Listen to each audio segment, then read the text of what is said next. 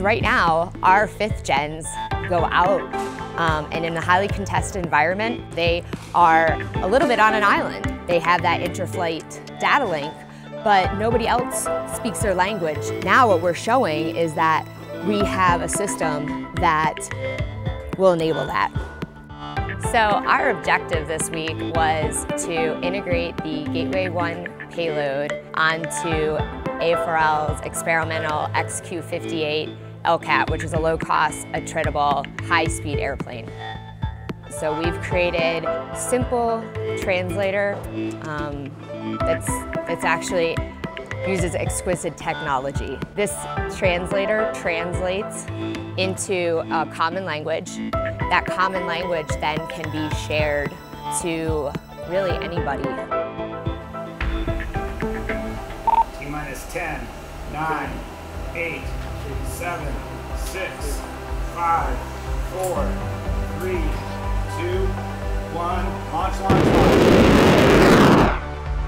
We can confirm that you have the payload on. Uh, we're working through some uh, comm issues here with the payload, but currently we believe payload is India and Mike active acquisition. We are intermittent with the fifth, negative contact with the payload. You know, sometimes when you run hard, failure is an option. Unfortunately, um, it, when the XQ-58 took off, about a minute and 45 seconds into flight, our payload stopped working.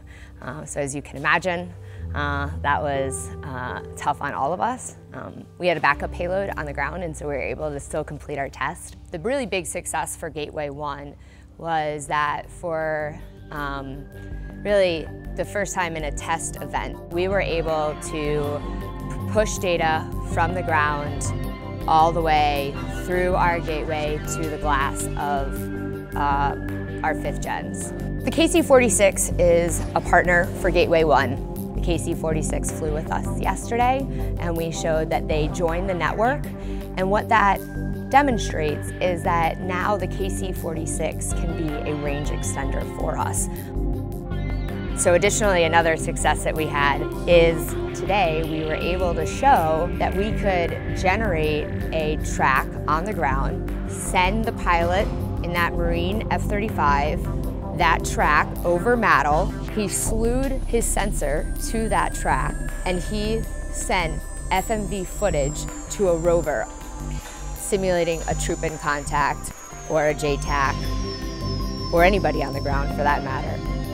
We believe in these capabilities. We believe in the uh, power of the LCAT. We believe in the power of the gateway and what it will do for the way we fight.